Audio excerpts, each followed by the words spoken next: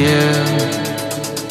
I feel you're always on my mind. Now that I know